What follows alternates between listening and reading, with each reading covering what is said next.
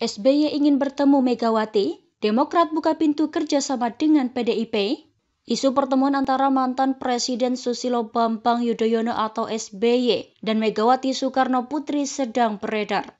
Hinca Panjaitan Ketua Dewan Kehormatan Partai Demokrat menyatakan bahwa rakyat Indonesia akan senang jika kedua petinggi partai ini bertemu. Hinca mengungkapkan pertanyaan tentang siapa yang akan mengundang pertemuan tersebut. Hubungan antara kader PDIP dan Demokrat dikatakan bersahabat dan sering berdiskusi menurut Hinca Panjaitan.